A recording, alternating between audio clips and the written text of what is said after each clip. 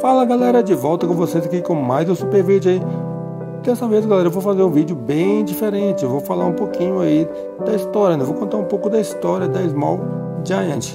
Small Giant que é produtora do jogo Empires e Puzzles, né? Que foi é, Empires e Puzzles que foi origem, né? Que deu pontapé inicial aqui no meu canal. Então dessa vez eu vou falar para vocês aí, contar um pouco dessa história, mostrar um pouquinho aí da história, né? Da Small Giant. A Small Giant Games né, foi fundada em 2013 em Helsinki, Finlândia, por um grupo de indivíduos demitidos pela desenvolvedora de jogos para celular Suleike. Otto Nianimi, ex-diretor de desenvolvimento de produto da Suleike, foi o diretor executivo fundador da empresa, com, com Tino Soninen, ex-CEO da Suleike, assumindo a função da CEO da Small Giant em 2014 o ex-diretor de tecnologia da Suleik, Marcos Haltune, ingressou na Small Giant na mesma posição. Os desenvolvedores Ilka Joaperi e Tommy Valisto complementaram a equipe da Small Giant.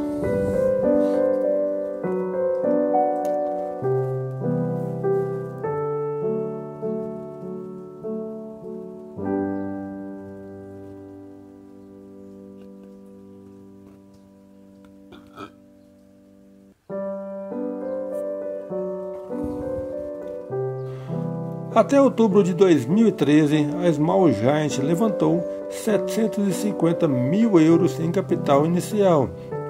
Mais tarde naquele ano, a empresa concluiu uma campanha de arrecadação de fundos que gerou 3,1 milhões para permitir o lançamento do seu primeiro jogo para celular, o Odd Wings Escape. O jogo foi lançado em 14 de maio de 2015 em sua análise para o, Pocket Game, Harry Slater descreveu o jogo. O Wood Wings Escape é um jogo sobre patos mutantes geneticamente modificados voando através de cenários lindos. Você tem que coletar corações e moedas, evitar bombas e chegar o mais longe que puder.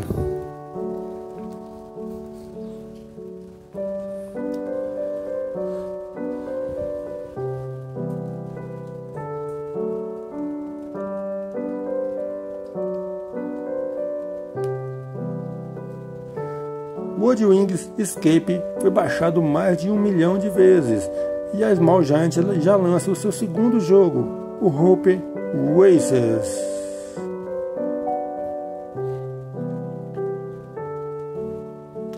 Seguindo o Old Wings Escape e o Hope Races, Sonine descreveu uma mudança no foco da Small Giant, longe dos jogos casuais. Decidimos eliminar esses produtos muito rapidamente e começar a procurar pelo grande. Como poderemos realmente conseguir aquele jogo de maior bilheteria? O que é necessário? A EQT Ventures forneceu a Small Giant 5,4 milhões de euros em capital de risco em 2017 para marketing e desenvolvimento de jogos. Em março de 2017, a Small Giant lançou o Empires and Puzzles, um jogo de quebra-cabeças de combinar 3, que também incorpora elementos de RPG. No final, a Small Giant relatou que o Empires e Puzzles havia gerado uma receita de 33 milhões de euros. O jogo ganhou o prêmio de Game of Year no Finnish Game Awards de 2017.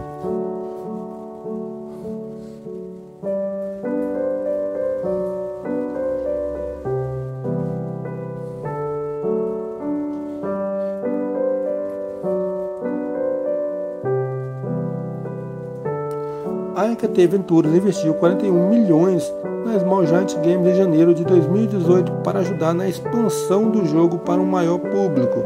Em apenas quatro meses do ano, o Empires The Puzzles excedeu sua geração de receita em 2017. No final de 2018, havia sido baixado 26 milhões de vezes no, no Google Play e no Apple Store o Empires de Puzzles ganhou o prêmio de melhor sucesso revolucionário no Google Play Awards em 2018. a Small Giant foi indicada para melhor live ops e melhor desenvolvedora no prêmio Pocket Game Mobile Games de 2019.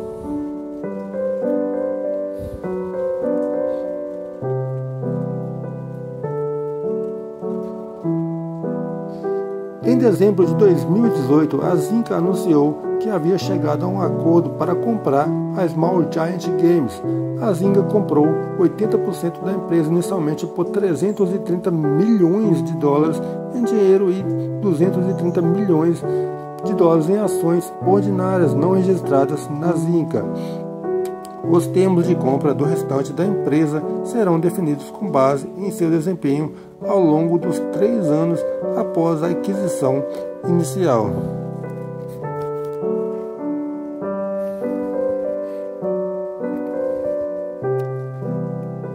O Empires Puzzles continuou a ter um bom desempenho para a Small Giant e a Zynga.